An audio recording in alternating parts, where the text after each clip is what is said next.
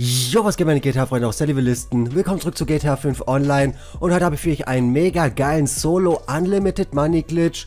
Nicht wundern, der ist wirklich Solo, auch wenn ihr mit anderen spielen müsst. Ihr könnt es aber wirklich komplett Solo machen und zwar müsst ihr eine der neuen Casino-Jobs bzw. Missionen zum ersten Mal spielen. Habt ihr mit eurem Hauptcharakter bereits die Mission gespielt? Geht auf euren zweiten Charakter und spielt dort die Mission. Es ist vollkommen egal, ob ihr die Mission hostet oder ob ihr als ganz normaler Spieler irgendeine Mission nachjoint. Das ist vollkommen egal. Ihr müsst einfach nur eine Mission abschließen. Wenn ihr die Mission dann abgeschlossen habt, werdet ihr sehen, ihr werdet 50.000 beziehungsweise wenn es die letzte Mission ist, 100.000 Dollar bekommen. Wenn ihr diese dann erhalten habt, das Geld, wie gesagt, das bekommt ihr nur, wenn ihr es zum ersten Mal spielt geht jetzt einfach nur ins Casino und geht dann zu einem Roulette-Tisch.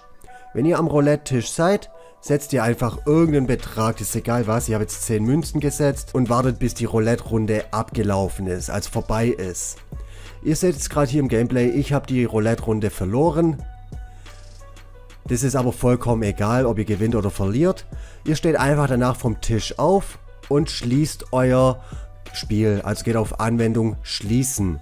Habt ihr dann das Spiel geschlossen, startet einfach das Spiel neu und wartet bis ihr dann im Online-Modus spawnt. Ich würde euch empfehlen, wenn ihr weiter glitschen wollt und mehr Geld rausholen wollt, macht euren Spawnpoint auf Casino Penthouse, denn dann habt ihr nicht so einen langen Weg, um ins Casino zu kommen.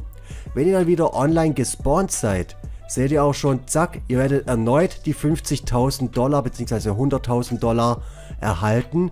Wenn ihr jetzt weiter glitschen wollt, müsst ihr jetzt einfach nur runter ins Casino gehen oder ins Casino gehen, an den Roulette-Tisch, spielt nochmal eine Runde Roulette, werdet dann den Tisch verlassen, Anwendung schließen, Anwendung neu starten, also GTA neu starten, und wenn ihr dann wieder online seid, werdet ihr erneut 50.000 bzw. 100.000 Dollar kriegen. Und das könnt ihr dann so oft machen, wie ihr wollt. Also kann man sagen, dieser Glitch kann wirklich jeder machen. Auch die, wo gar kein Geld haben, können diesen Glitch machen.